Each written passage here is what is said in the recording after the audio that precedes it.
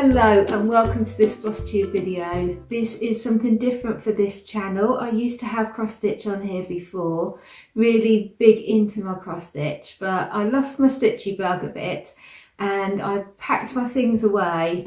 But since stitching on my wedding sampler for my stepdaughter, I have got, I've want, the itch has come back basically, the itch has come back. So I packed away all my things before into this box.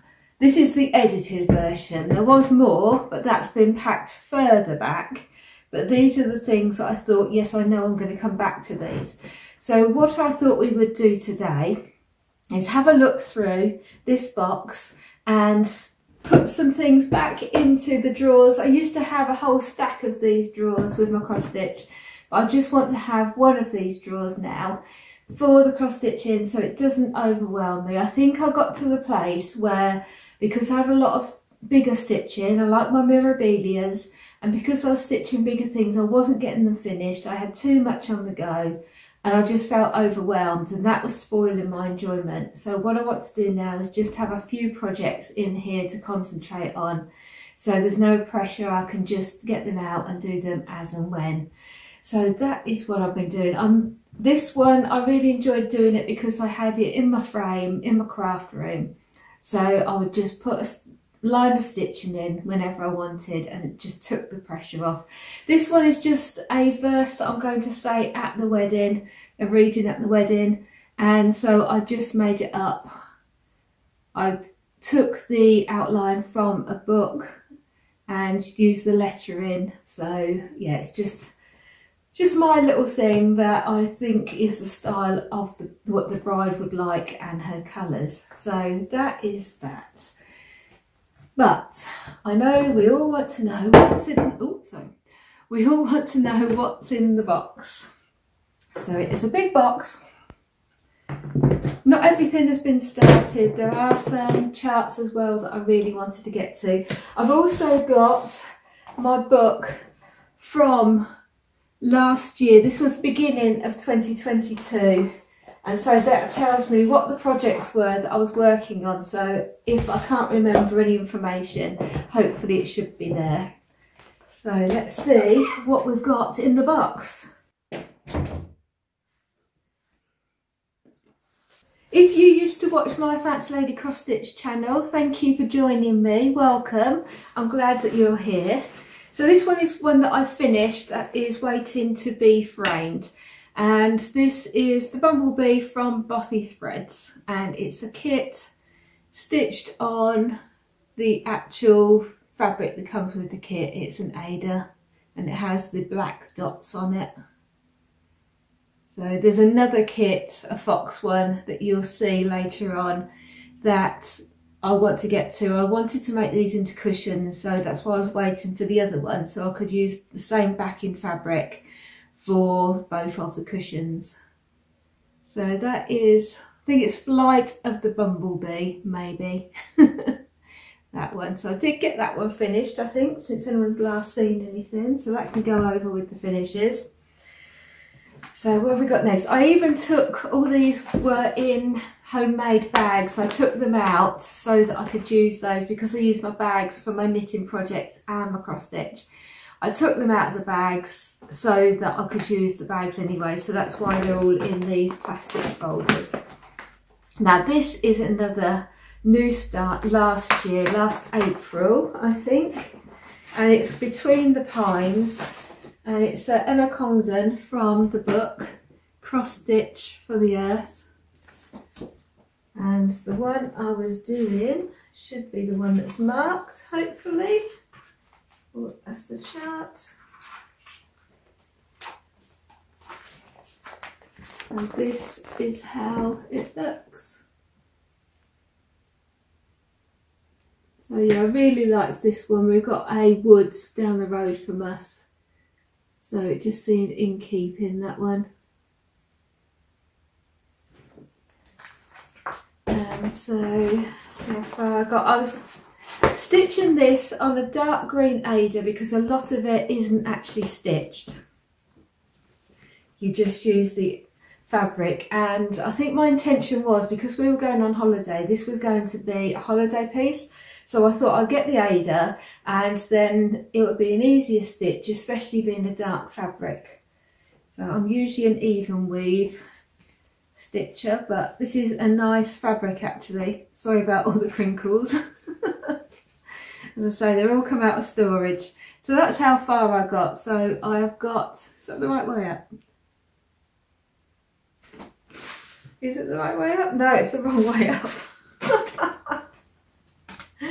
Let's try this way. Okay so that's how far I got. So you now you can see the deer and the shape of some of the other animals and things. So that is my Between the Pines by Emma Congdon. She is a favourite designer of mine. I do like her pieces. So that is that one. So what I need to do is put these into different piles so I know what I'm feeling now and what's going to go back in the box. This isn't just a WIP parade. This is a, what am I going to actually be stitching on? So I think, sorry, making a lot of noise. I think this one is going to be a keeper. So I shall put that one in that box for now. We might have to edit down because if everything goes in the box, there's going to be trouble. This one's not going to be going in the box. Not at the moment. This one is a Dimensions kit. It's uh, Gold Collections Petite and it's Secret Santa's Secret. And so I've seen this one stitched up and I really like it. I'm not a big Santa fan for stitching and I think now moving forward I prefer to stitch winter projects rather than Christmas I think. But I do want to get this one finished. And I am quite far on this one. Oh, so I added fabric. If ever you've stitched a dimensions you will know that they don't give you a lot of extra fabric. So I put some extra fabric round. And this is where he is. So he looks a little bit sinister at the moment the eyes are very blue, but hopefully once there's more greenery this side, then it will look better. As I say, I have seen it stitched up and really liked it. So there's Santa's Secret. So I would like to get him finished. But I think for the moment, this this time of year, I think he is going to be back in this box so you can go down there. Right, we've got another one now that's Christmas because it's still in the Christmas bags. So this one is the Christmas in London by Mirabilia. And I really loved that. I, when it first came out, I wasn't sure about it because I felt it was too busy and I wasn't over keen on it. But then I saw a running stitch stitched it and I loved it. And I think it was because it was bigger.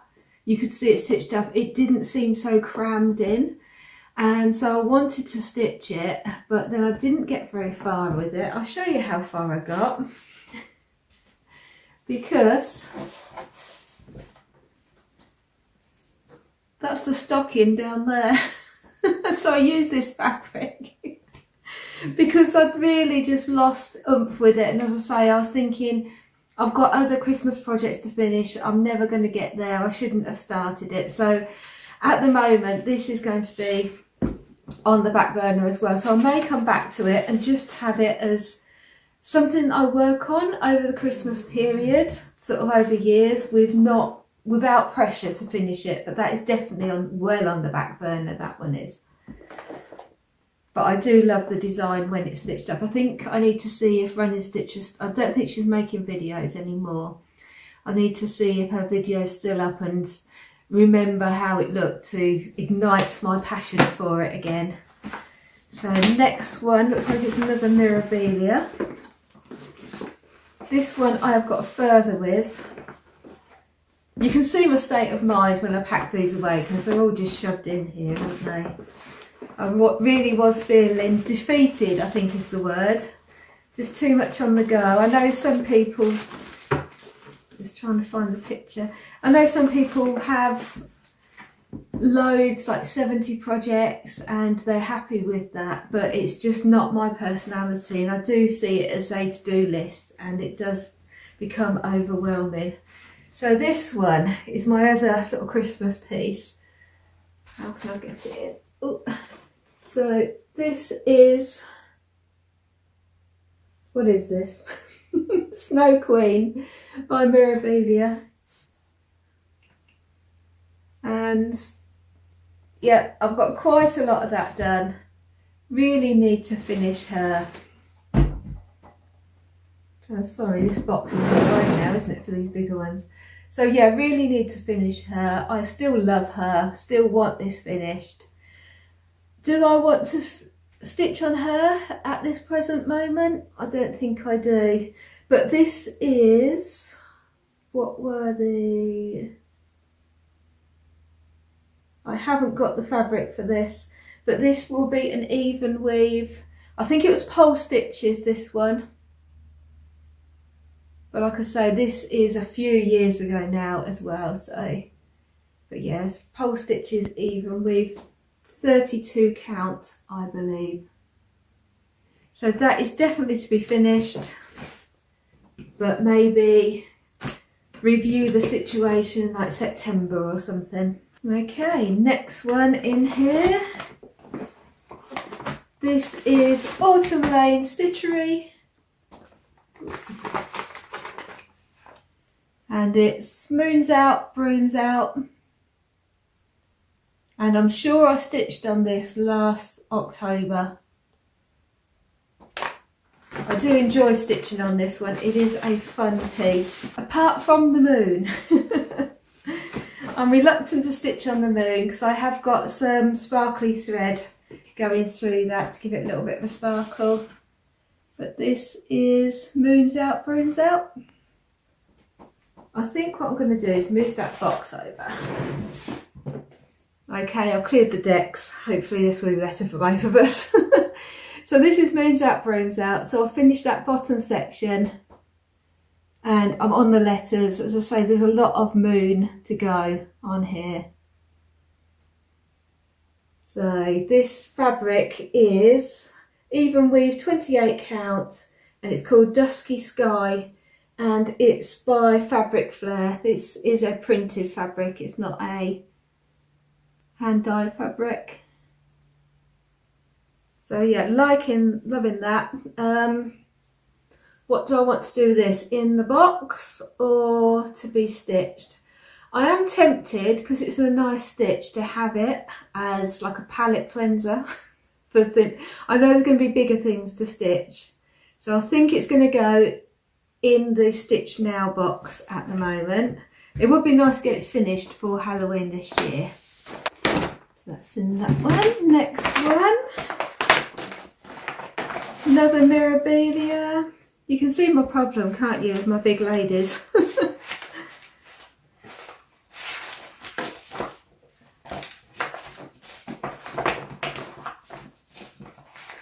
see my picture, but I've got the information. So this is Fairy Moon by Mirabilia.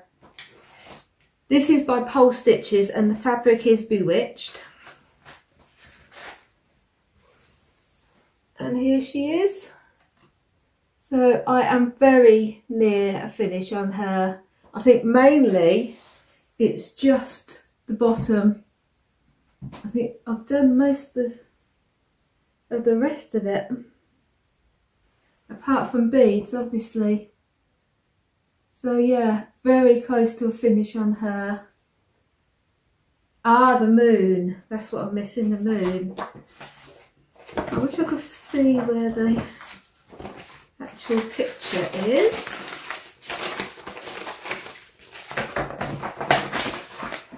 I don't know what I've done with that but yes. She's looking up at a moon So is she going back in the box or to be finished? I think, to be finished. But I do think she might be edited down, knowing what's coming up. Okay, what we've got next? Another Mirabilia. This is the Mirabilia show. Now this is Spring Topiary Garden. It doesn't look very impressive on the picture, but when we saw it at retreat, it was beautiful.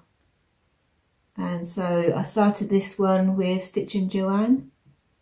I started the Moon Fairy, what she called, with Stitch and Joanne. She's finished most things. She's probably finished this, but I haven't. So this is on the same white fabric. It's called Snow. It's an opalescent white and it's 32 count Murano, 32 count Murano. I really love this fabric. It's got substance to it, but it's nice to stitch on. So that is how far I am at the moment. I'll it a little bit closer to you. So yeah, that's a lovely one and I would like to carry on with this one. And I'm thinking I'd like to carry on with this one more than Fairy Moon. But I'm thinking I should finish Fairy Moon. But I don't want to lose my Stitchy Bug. So I'm thinking this one. Sorry, Fairy Moon, I think you might be demoted. Because I'm not going to want too many Mirabilias, am I? So I'm very conscious of just not get, feeling overwhelmed and feeling like, like I'm not getting anywhere. I did find it helped when I put things in that box and put them in the wardrobe out the way. I did find that rather than being in these drawers staring at me, I felt like it was more out of sight, out of mind. It wasn't accusing me every time I came in my craft room that I'm not done any. It's our hobby. It's not it shouldn't be stressful, it should be de-stressing. So I'm going to take Fairy Moon out. I'm going to put Topiary Garden in because it's the right time of year anyway, isn't it, for that one? Okay, next. Ah, now this one, or these two, should I say. So I started this one, the Bothy Threads Seahorses, it's called Shall We Dance and it's a kit and I saw it on LNS channel. It's Lorraine. Hello Lorraine if you're watching. So I saw the I saw Lorraine stitching it and I will put any links of anybody I mention will be below the video. And I really loved it. I thought it was I love the colours of it. So I started doing it and this was one that I took on holiday. This is really screwed up. I'm sorry about this. For anybody who says, oh, your craft room is always so tidy, this is the true me. so I started this one. As you see, they are beautiful colours. I've also got a needle stuck in there for ages, which is a no-no, isn't it? So as you see, it's got these blue dots on, which is what they do with the bothy threads. But where I think it was on the orange, yes, the orange, I didn't like how you could see it through the actual fabric, the dots. So I was thinking maybe I should change the fabric. And then Lorraine on her channel, she was giving away, she'd done the swimming school by Bothy Threads. And she was giving away, she got some leftovers and so she was giving away the chart and some leftovers. So she passed it on to me so I could then make it up with my own colours and stitch it. And I thought it would be a good companion piece to the seahorses. And so I did actually purchase a piece of fabric for these two to go on. I was going to do them separately, not as one, but I just bought a big piece of fabric. So this fabric that I wanted to stitch it on is 28 count even weave once again and it's called it's it's but it's from Lakeside Needlecraft by the way I think it's exclusive to them Aquamarine you see that so it's a really nice under the sea. I can't see you, so I hope you can see this. really nice under the sea, sort of like water. It looks like, you know the top of the water when it's like, um, you know when like oils on there and you get that pattern? It's very much like that. So I really love that and I think they would look great on there. So that's what I'm going to be stitching it on. That is quite the right colour, holding it back here. So you can see plenty of the white and the greens, grey greens and things, but it's not too dark. So yeah, I think that would they would look good on there. So that is something I want to go back to. But as I say, basically at the moment it's a non-start because I'm going to restart it. So it would be nice to work on that in the summer. So I don't know whether to put it into my box now as a reminder. Not to be stitched now, but when we get to a bit of the summer months. Or I could take it on holiday with me. Going away soon. I don't know, but I think it's going to go in this box for the moment.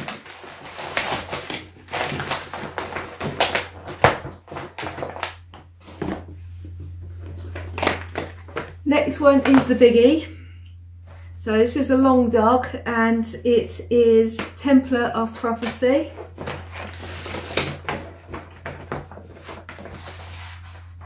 Have I got a covering picture? Got 15 pages of chart, I know that.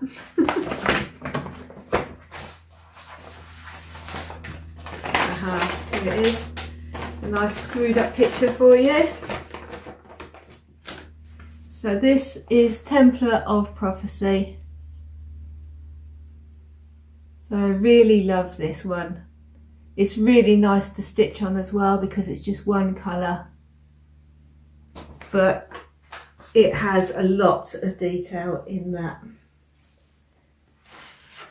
So I have done a lot on this, but there's still a lot to go.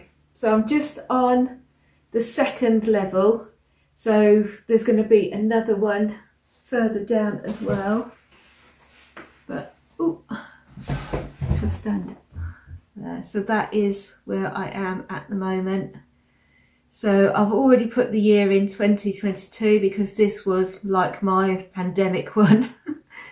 and um, I've got my initials in there as well. The initials are over this side I wanted to commemorate the Queen on this piece and also we've got the coronation in May so I wanted to incorporate those dates as well because I do feel like it is a not an heirloom but you know what I mean it's a significant time in my life that what the world has gone through so yeah this is going to be that piece so I really want to finish this and it's something completely different to what I usually do.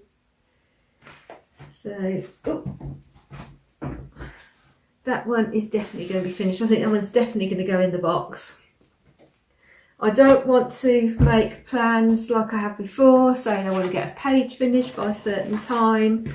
But I think it'd be nice just to have ready so I can do little blocks of it and keep chipping away at it would be nice. I'm going to have to dig out my nicer bags again because I don't like using these ones. Oh, the fabric is, the fabric is just an even weave, it's 28 count and it's just in a stone colour and the thread I'm using is just a DMC and it's 115 so if I hold it here. Maybe you'll see the tones. So it's 115, so you get darker and lighter red tones.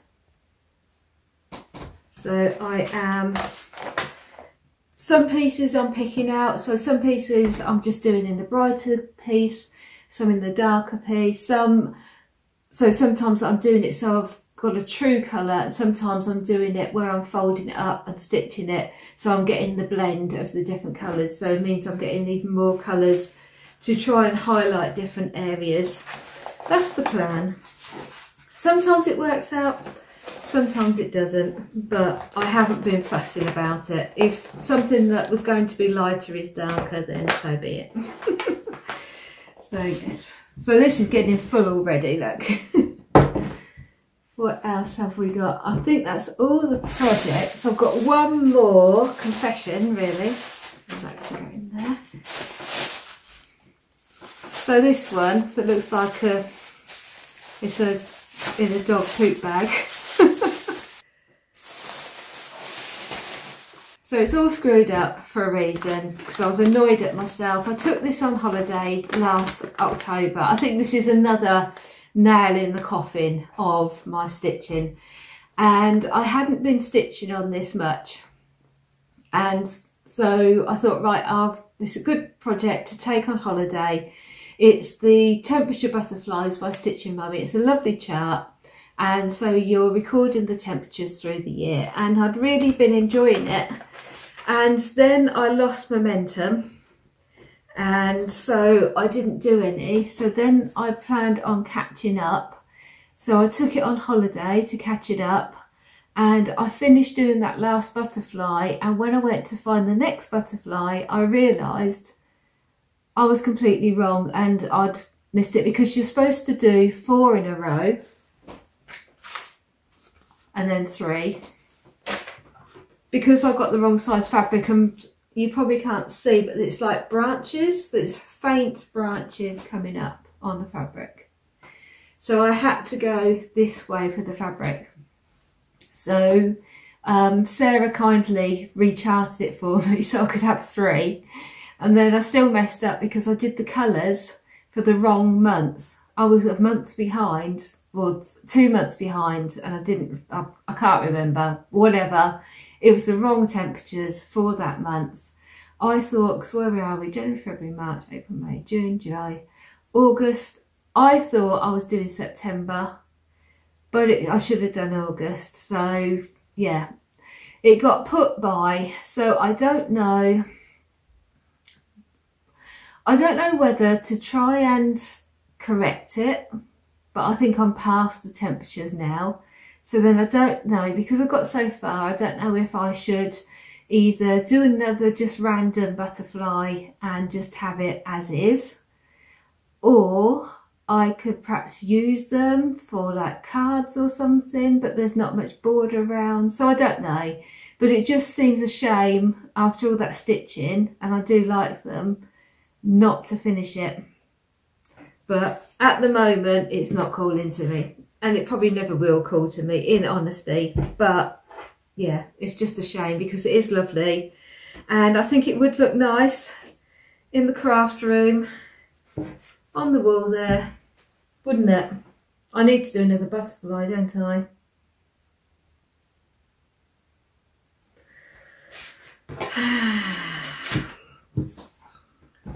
I don't know. I don't know. It wouldn't take me long to do a finish and then I could put it up, couldn't I? Shall I put it in the to stitch? I think I'd feel better if I did it and just finished off that last one and then framed it as is. It's going in that one to be stitched now. So all I have now in here is some charts that I want to get to. So I shall go through to see if I definitely still want to stitch these. And so I had a lot more that are in there. but these are the ones I wanted to get to quicker, rather sooner rather than later. So first of all, we got lavender and lace. And so I have already stitched this spring and so I still want to stitch the summer Have I got a picture for winter? Winter.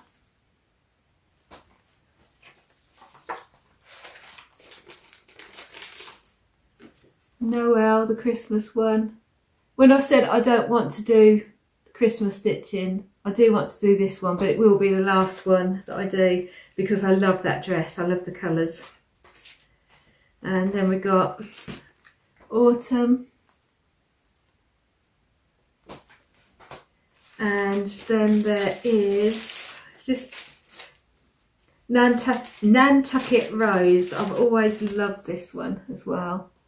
So I'd really love to do that one.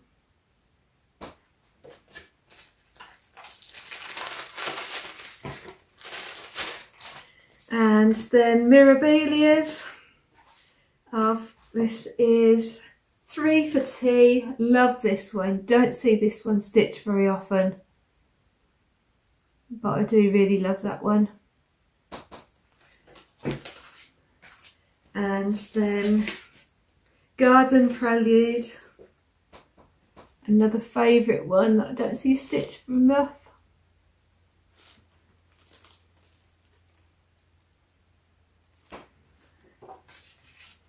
and then a couple of Nora Corbett's. So this one is Miss Black's Swallowtail. They'll quite quickly, these Nora Corbett's, they do stitch up quite quickly, so I am hoping I'm going to get to these.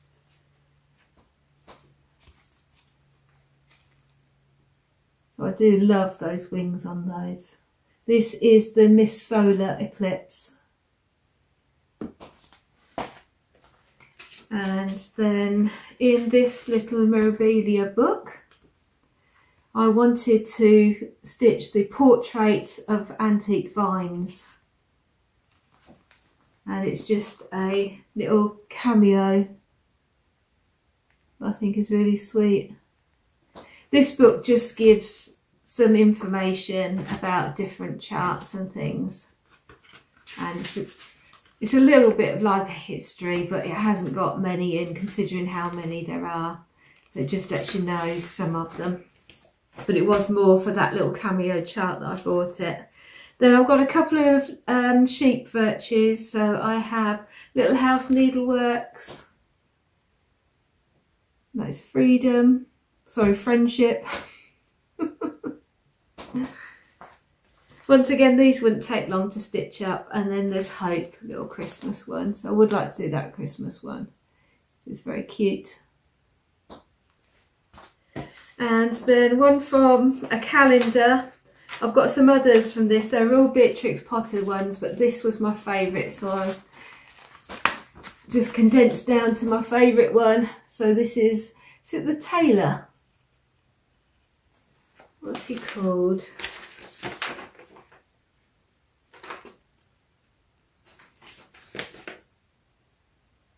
The Tailor of Gloucester. He's called. I thought that's perfect for the craft room. So I'd like to do him.